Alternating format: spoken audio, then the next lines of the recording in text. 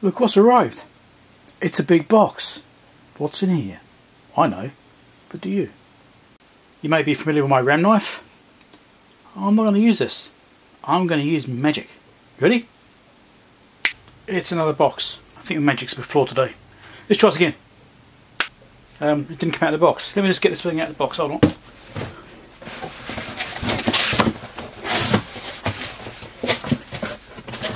Thought you're having trouble. Right, turn upside down.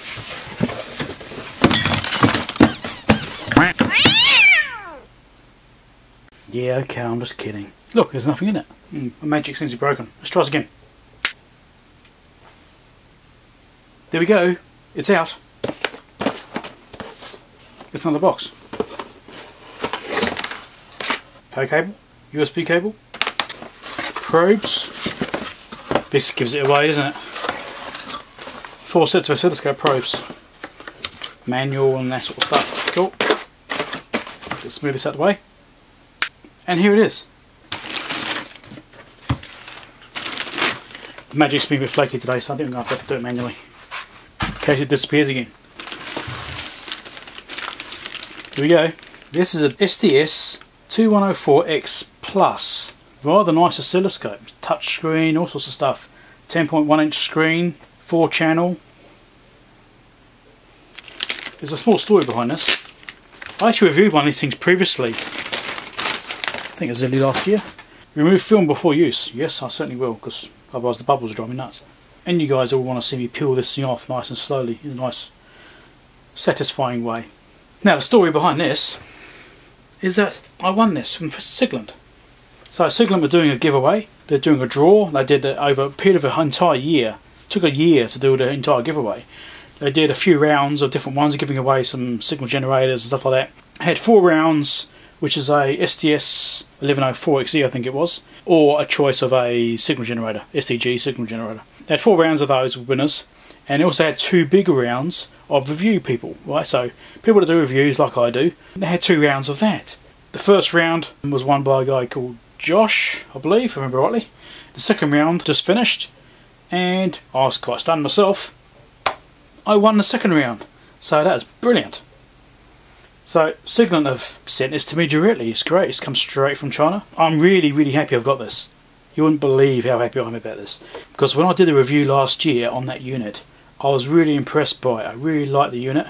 When I did that, I thought, well, I'd really like to get one myself. Shortly after that, I think it was, might have been around the same sort of time actually.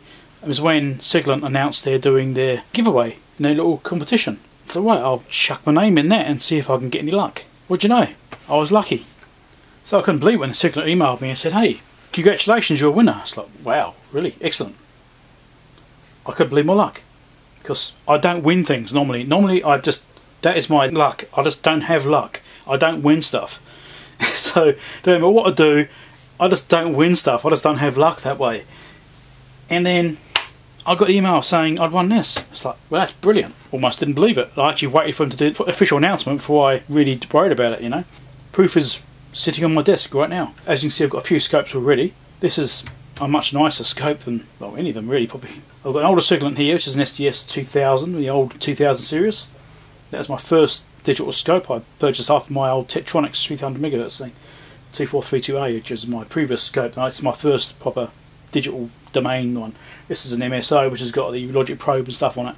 I've actually got this, the whole kit of this. This one's fully upgraded. You know, I spent a lot of money on that one. And then, about three years ago now, I was fortunate enough to win a Keysight Test Press competition for the video entries, and also I won that Keysight scope, which is great. Thank you much, Keysight. And then last year I picked up this scope, which is the SDS 194XE, because I wanted a four-channel scope. So I purchased that, and now I've got this thing. So I actually need to reorganise my desk anyway, because in my other lab I've only got a budget scope out there. I did a review on it. It's a Mustool scope. It's actually got a nice little scope for the money, really good, but doesn't compare to these things. And I, what I'm going to do, I'll, I'll dispose of that scope. I'll probably sell it locally, and then hopefully this will fit on my shelf here. It's um, similar size to my old one, to my 2000. Hopefully I don't have to readjust my shelving, but you know, minor sacrifice. And some people say, oh, I'm a bit spoilt for choice for scopes. Well, yes and no. All scopes have got their own little quirks and feature sets. Some things are done differently across different brands and they're better for certain functions and certain uses. Anyone who's had a range of scopes will know that that's the case. All scopes aren't created equally.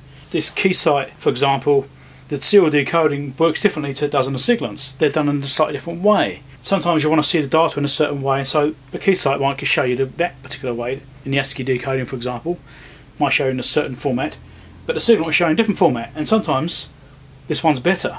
Sometimes this one's better. So sometimes it depends on what you're doing. I've got this because I wanted four channels. This is because it's an MSO. And this because I won that one too, so that's a bit of a pride of place as well. I think I should keep the Keysight here again because like I said, serial decoding is a bit different, things like that. There's a few little quirks on it which are, well not really quirks, but there's, there's a few differences about how this works compared to these ones and the Siglent GUI interface. Gives you a, bit more of a range of options. I think I'll take the old SDS2000 put that in the other lab and use it out there because these are basically the same physical dimensions so I should just be able to swap it out with this one. The advantage for this one as well is that it's got this nice big screen, so when I'm trying to do video and recording video on it, it will be larger, so it'd be easier to see it, which is a great benefit. It's going to be a lot easier to see when I'm doing videos and stuff like that. So thank you very much Siglent for firstly doing the giveaway and doing the draw. It's really generous of them to actually go through and do that. There's lots of winners, not just me, there's lots of other people who won things, so it's really generous of them to do that and, and to give away equipment. Absolutely brilliant. And I, I think they've done it a couple of times in the past as well. And it would be nice to see them do that again in the future. Good on them for that. Well done, Siglent. And thank you very much for this nice scope. I'm looking forward to using it and adding it to my bench just over here. And you'll see me using this in various repair videos in the future. I'm really happy about it. I'm going to have to get the uh, MSO option for this. You know, that's not a big deal. I really should pair it up. Right, there we go. It's on the shelf. Now I've got the power plugged in. I haven't powered up yet. So I'll do that together for the first time. And we'll see what happens. I'll just take this bit up, I can't remember. I think it's about 40 seconds I think.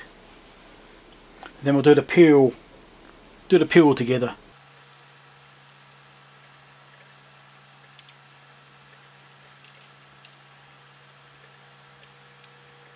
And there we go. It's booted.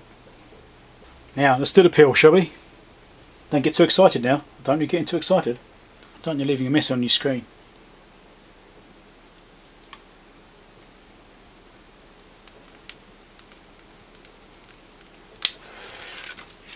There we go, it's officially mine now. Right, let's try and find these settings. If we can use this thing. Utility, system settings.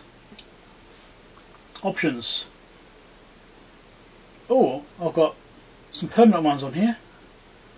Permanent FG, which is the AWG option, call it FG now. MSO is temporary. Permanent FlexRay, permanent CAN, FD, permanent I squared C, permanent 1553B, don't know what that is. Permanent PA, which is power analysis.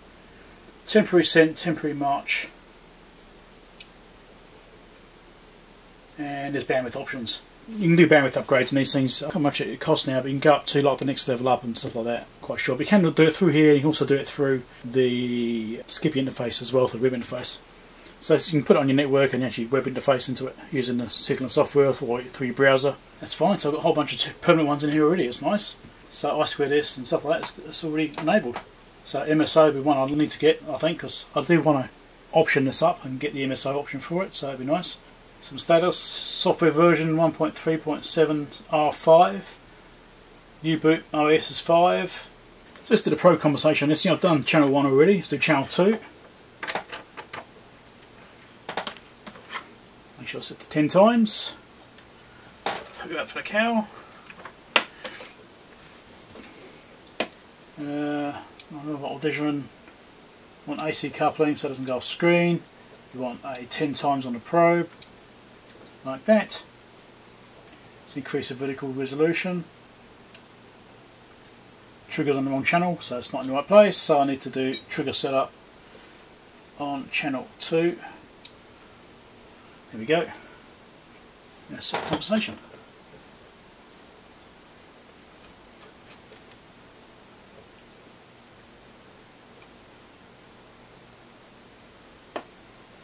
Close.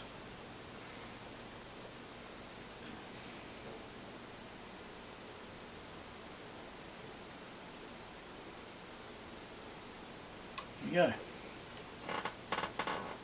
Second one done. And I'll just repeat for the other three channels. Well, the other two channels, we've done the first one.